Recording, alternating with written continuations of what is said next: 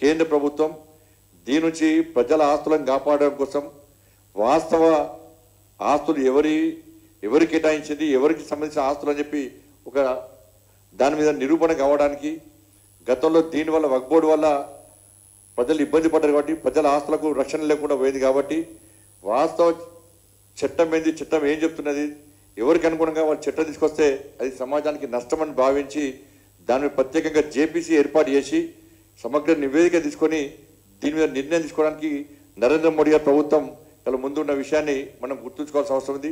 దానిలో తెలంగాణ రాష్ట్రం నుంచి కూడా మన డీకే అన్నారు కూడా దానిలో సభ్యులుగా సభ్యురాలుగా ఉన్నారు. అన్ని ప్రాంతాల్లో పర్యటిస్తూ వాస్తవ విషయాలను ప్రజలకు ఆలోచనను దీనివల్ల జరిగే అనర్థాలను నష్టాన్ని కూడా ప్రజలు వివరించే ప్రయత్నం ఈ కమిటీ చేస్తున్నది. తొందరనే కమిటీ నివేదిక ఇవ్వబోతున్నది. ఇది కొన్ని మాత్రమే ఇవాళ మీ ముందుంచే ప్రయత్నం చేస్తాం ఇలా వంద రోజులలో మా ప్రోగ్రెస్ కార్డ్ ఎంతో మేము బయటపెట్టాం మేము. నరేంద్ర మోడీ ప్రభుత్వం. ఇప్పుడు తెలంగాణ రాష్ట్రంలో కాంగ్రెస్ పార్టీ ప్రభుత్వం ఏర్పడి తొమ్మిది నెలలేదు ఇప్పటికి. కానీ ఇంతవరకు కూడా ఎన్నికల ముందు ఇచ్చినటువంటి ఆరు గ్యారెంటీల విషయంలో కాంగ్రెస్ పార్టీ ప్రభుత్వం కనీసం చెప్పే స్థితిలో లేదు. రుణమాఫీ చేస్తామంటున్నారు. ఎక్కడ రుణమాఫీ చేసిండ్రో మేము చర్చించడానికి సిద్ధము. మేము అనేక గ్రామాలు తీసుకుపోతాం. రైతులతో మాట్లాడిస్తాము. రుణమాఫీ ఎంత మేరకు జరిగిందో దాన్ని నిరూపిస్తామని చెప్పినా కూడా కాంగ్రెస్ పార్టీ రుణమాఫీ చేస్తామని చెప్పి గప్పాలు కొట్టుకుంటుంది తప్ప రుణమాఫీ విషయంలో కాంగ్రెస్ పార్టీ నాయకులకే ప్రభుత్వానికే క్లారిటీ లేదు. ఇలా సర్వే సర్వేల పేరుతోనే కాంగ్రెస్ పార్టీ కాలయాపన చేస్తున్నది అరవై నాలుగు లక్షల మందికి రుణాలు ఇస్తామని చెప్పి ఇలా బ్యాంకులు స్పష్టం చేస్తున్నాయి. తిరిగి రైతులు లోన్ చెల్లించడం కూడా బ్యాంకులకే. బ్యాంకుల దగ్గర ఎంతమందికి రుణమాఫీ జరిగిందో పూర్తి నివేదికలు ఉన్నాయి కానీ అయినప్పుడు కూడా సర్వేల పేరుతోని ఇవాళ మళ్ళీ టైంపాస్ పాలిటిక్స్ చేస్తున్న ప్రభుత్వం కాంగ్రెస్ పార్టీ ప్రభుత్వం. ఇవాళ దాంతోపాటు రైతు భరోసా ఇవ్వలేదు బోనస్ ఇవ్వలేదు.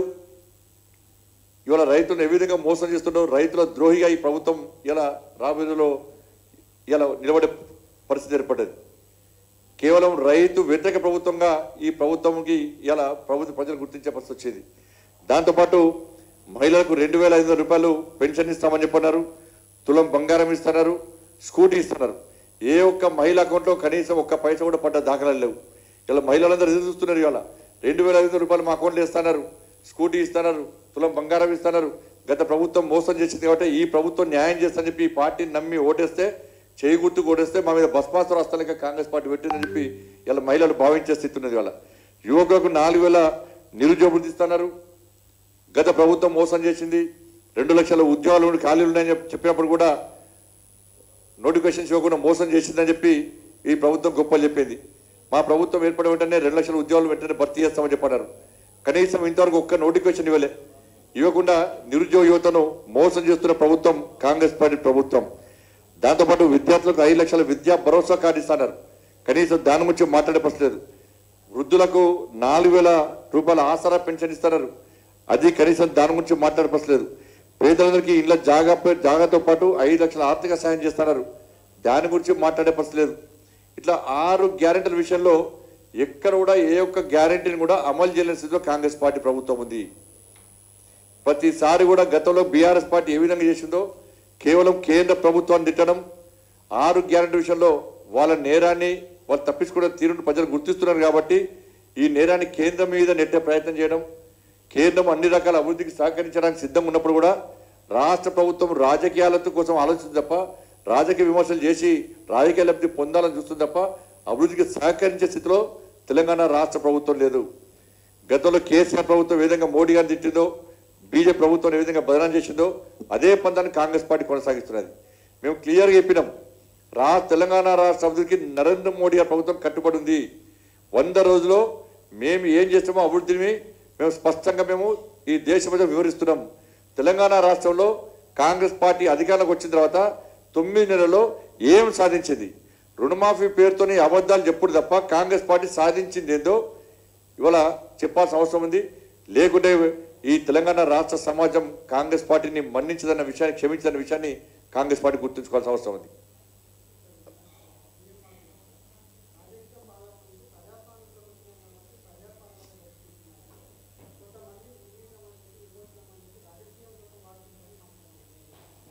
మరి ఉద్యమ సమయంలో అప్పుడు విలీనం అనుకున్నారా విమోచన అనుకున్నారా బీఆర్ఎస్ పార్టీ సమైక్యత దినోత్సవం అని మాట్లాడుకున్నప్పుడు ఇదే కాంగ్రెస్ పార్టీ అప్పుడు ప్రజాస్వామ్యం గుర్తురాలేదా? ప్రజాపాలన గుర్తురాలేదా వాళ్ళకి? ప్రజాపాలన అంటే ఆలోచన ఏంది వాళ్ళది? యాభై సంవత్సరాలు తెలంగాణ సమైక్య ఆంధ్రప్రదేశ్ వాళ్ళు పాలించారు. యాభై సంవత్సరాలు కాంగ్రెస్ పార్టీ ఇది రాజ్య ఉమ్మడి ఆంధ్రప్రదేశ్ ఆంధ్రప్రదేశ్ రాష్ట్రాన్ని పాలించింది. మరి యాభై సంవత్సరాలు ప్రజాపాలన కూడా ప్రజా వంచన పాలన వాళ్ళది. ప్రజాపాలన దినోత్సవం అంటే ఏంది? వాళ్ళ ఆలోచన దేనికోసం పేరు పెట్టారు? కేవలము విమోచన దినోత్సవాన్ని ఎంఏ పార్టీ బాధపడుతుంది కాబట్టి ఆ రజాకల దళం పార్టీ బాధపడుతుంది కాబట్టి ఇవాళ వాళ్ళ మెప్పు పొందడానికి వాళ్ళ వాళ్ళ ప్రజాపాలన దినోత్సవం అని చెప్పి వాళ్ళు చెప్పుకుంటున్నారు. ప్రజాపాలన దినోత్సవం అంటే ఏదో చెప్పుకోవాలి కదా మేము దీని ప్రకారం చేసుకున్నాం. బీఆర్ఎస్ పార్టీ సమైక్యత దినోత్సవం అంటే వాళ్ళు కూడా క్లారిటీ లేదు. దేనికి సమైక్యత దినోత్సవం అని చెప్పాను అందరు సమైక్యంగా ఉంటేనే తెలంగాణ రాష్ట్రాన్ని సాధించుకున్నాం.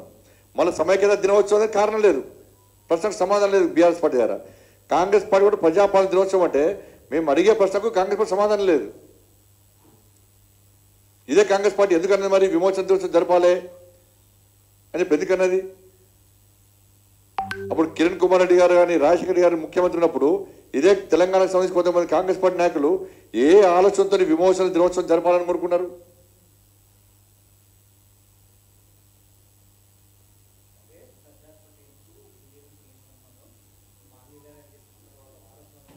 మరి వాళ్ళని చెప్పుకుంటలేరు? ఎందుకు చెప్పుకుంటలేరు? సర్దార్ పటేల్ విగ్రహం పెట్టడానికి ఎందుకు ఎందుకు ఎందుకు మంది అవుతారు మరి వాళ్ళు? పెట్టవచ్చు కదా? కాంగ్రెస్ పార్టీకి నెహ్రూ విధానాలు నస్తాయి వాళ్ళకి. నెహ్రూ విధానం అంటే మళ్ళీ నెహ్రూ అప్పుడు మూడు ముక్కలు చేసిండు. మళ్ళీ నెహ్రూ పాలసీ అయితే వంద ముక్కలు అవుతుండే పది ముక్కలు అవుతుండే దేశం. సర్వనాశనం అవుతుండే వాళ్ళ సర్దార్ పటేల్ను ఏ రోజైనా కాంగ్రెస్ పార్టీ ఇవ్వాల కూడా. ఇవ్వాల కూడా. ఇలా నిజాం మెడల్ వంచి సర్దార్ పటేల్ హైదరాబాద్ సంస్థానానికి విలీనం ఇలా విముక్తి కలిగిస్తే ఇలా ఏ ఒక్క ప్రాంతంలోనైనా సర్దార్ పటేల్ నిజాం మెడల్ వంచి హైదరాబాద్ సంస్థానాన్ని విలీనం చేసిన చెప్పి చెప్పుకుంటారు ఇక్కడ కాంగ్రెస్ పార్టీ చెప్పిందా? కాంగ్రెస్ పార్టీకి సర్దార్ పటేల్ కంటే నిజాం మీద ఎక్కువ ప్రేమ. రజాకర్ల మీద ఎక్కువ ప్రేమ కాంగ్రెస్ పార్టీకి. వాళ్ళు రజాకర్ల వారసులు ఎంఏ పట్టలు వాళ్ళకు తొత్తులు వీళ్ళు. కాంగ్రెస్ పార్టీకి సర్దార్ పటేల్ గురించి మాట్లాడే అర్హత లేదు. అధికారంలో లేనప్పుడు సర్దార్ పటేల్ గురించి మాట్లాడలే. అధికారంలోకి వచ్చిన కూడా సర్దార్ పటేల్ గురించి మాట్లాడలే. మరి రాహుల్ గాంధీ గారు సోనియా గాంధీ గారు ప్రియాంక గాంధీ గారు ఇంకా గాంధీలు మిగులితే ఉన్నోళ్ళందరూ కూడా ఏ ఒక్కరు సర్దార్ పటేల్ గురించి ఎందుకు మాట్లాడలేరు? భారత్ జోడో యాత్ర చేసినప్పుడు ఎందుకు మాట్లాడలేదు?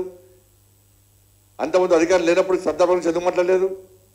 ఈరోజు తెలంగాణ సమాజం సర్దార్ పటేల్ యొక్క గొప్పతనాన్ని గుర్తించింది కాబట్టి అందరూ మా పిల్లలు కూడా సర్దార్ పటేలక తయారు కావాలని చెప్పి తెలంగాణ సమాజం భావిస్తుంది కాబట్టి ఒక వాతావరణం నిర్మాణమైంది కాబట్టి ఇది బీజేపీకి ఏదో క్రెడిట్ దొరుకుతుందో అని చెప్పి భయపడి ఇలా కాంగ్రెస్ పార్టీ విమర్శ చేస్తున్నది.